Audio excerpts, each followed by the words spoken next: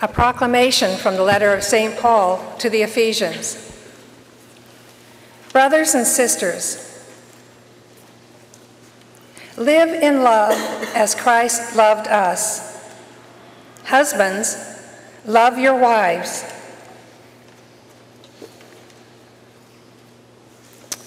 Let me start again. uh, brothers and sisters, be subordinate to one another out of reverence for Christ. Wives should be subordinate to their husbands as to the Lord. For the husband is head of his wife, just as Christ is head of the church, he himself the Savior of the body. as, the Christ, as the church is subordinate to Christ, so wives should be subordinate to their husbands in everything.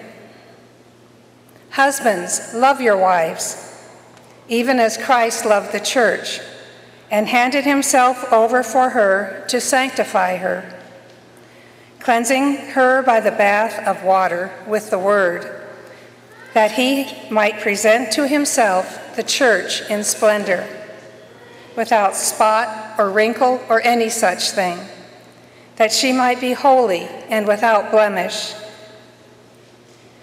So also, husbands should love their wives as their own bodies.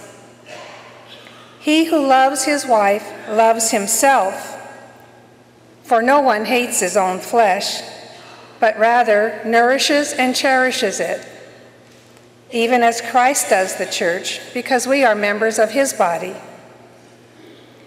For this reason, a man shall leave his father and mother and be joined to his wife and the two shall become one flesh.